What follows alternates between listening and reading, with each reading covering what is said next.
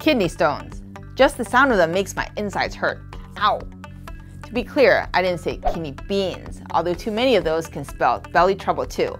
I'm talking about kidney stones, which can be excruciatingly painful and every year, more than half a million people in the United States end up in the emergency room because of them. Stick around to find out what causes kidney stones and what you can do to prevent them. Hey everyone, I'm Linda and I'm your guest host for this episode. If you've never had a kidney stone, don't think you're immune. One out of every 10 people will get one at some point in their life. And if you've had one, let's just say once is enough.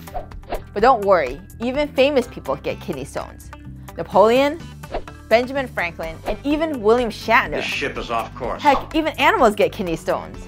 Kidney stones form when certain chemicals become concentrated in a person's urine to form crystals. The crystals grow into larger masses which can make their way through the urinary tract. If the stone gets stuck somewhere and blocks the flow of urine, ouch! So what are the chemicals that form these crystals? One of the most common is oxalate, which can be found in many foods including beets, nuts, chocolate, and tea. When too much oxalate in the urine binds with calcium in the body, crystals begin to aggregate and form a stone. Too much phosphate in the urine from eating foods such as cheese, nuts, sardines, and yes, kidney beans can also cause stones. Similarly, when a person's pee contains too much uric acid, that can spell trouble. The body makes uric acid and expels it as a way of metabolizing protein. So you might want to avoid a protein-rich diet too. And researchers have recently exposed a new culprit, zinc.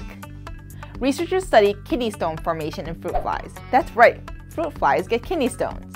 The researchers found that pumping the fruit flies' diet full of zinc caused them to form more kidney stones. Now, they're looking to see if other metals can cause the same sorts of problems. So if you don't want to end up like a zinc-loaded fruit fly, or even worse, William Shatner, the good news is that there are simple ways to avoid kidney stones. Drink plenty of water, watch how much protein you eat, and think twice before popping too many zinc supplements, especially if kidney stones run in your family. To learn more about zinc's connection with kidney stones, check out the original article by Speaking of Chemistry's very own Matt Davenport, or watch that one Seinfeld episode. Remember, the one where Kramer gets a kidney stone? It's hilarious! Remember Seinfeld?